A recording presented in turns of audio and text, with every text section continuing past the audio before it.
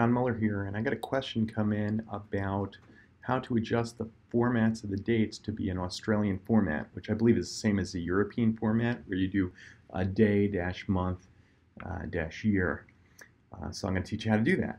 Um, you highlight the cells that you want to adjust. In my case, I want to do both the start and end columns. So I'm actually going to click on the M and drag over to the N, and, uh, and that essentially selects the entire column. I'm going to go to Format, choose Number, and go all the way down to More Formats. Go to More Date and Time Formats. And now what I'm going to do is I'm going to find one where the day is first.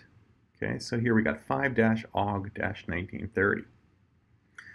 And I'm going to go up here, I, I click on that, it's going to adjust here to put date, month, year. So date, let's say I want the leading zero, so 05. And let's say I want leading zero on month, 08. And last, let's do the full numeric year. And I could choose just the two digits. I'll hit apply, and just like that, my dates will reflect the European or Australian format. Thanks for watching.